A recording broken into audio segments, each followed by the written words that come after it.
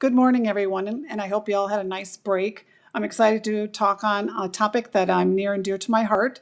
So let's get started. I have no disclosures.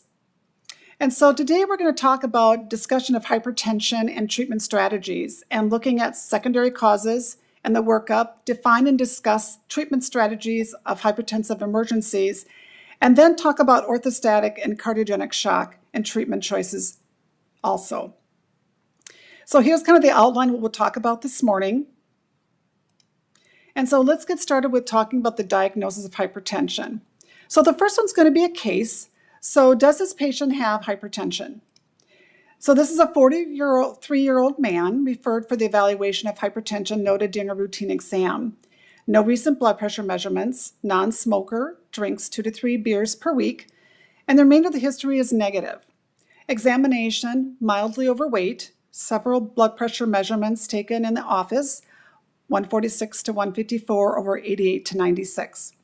The remainder of the exam and laboratory test, including the EKG and chest x-ray, were all negative. So the patient was provided literature regarding low sodium, weight reducing diet, and was asked to obtain some home blood pressure measurements.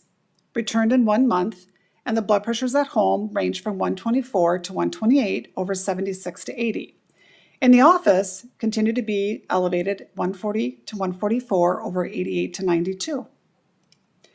So take your phones. Um, which one of the following could be a correct answer? A, white coat hypertension. B, inappropriate cuff size in the office. C, diagnosis of hypertension. Or D, all the above.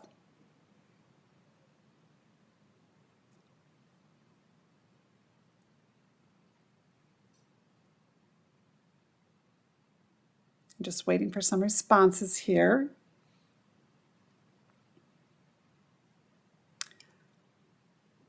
All right, so yes, D is the correct answer. So let's talk more about this patient. So could it be office white coat hypertension? Absolutely, but what else could it be? So one of the things that is very simple but very important is actually the size of the cuff. So failure to use a larger cuff on people that have a large arm, muscular patients, really is um, the result. It doesn't dampen an incomplete transmission when you're um, using the cuff on the artery.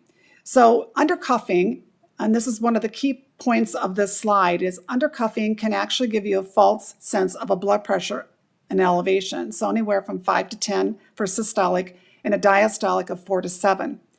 Overcuffing doesn't really have a difference. So if you're in doubt when using a cuff size, it's always best to err on the larger cuff size. 75% of the patients, adult patients that is, will need a large cuff. So it's recommended for by the American Heart Association to really use a large cuff when in doubt and make sure the home blood pressure units that you use or recommend to the patient is a large cuff because most of them come with standard cuffs, so sometimes you have to buy those separately.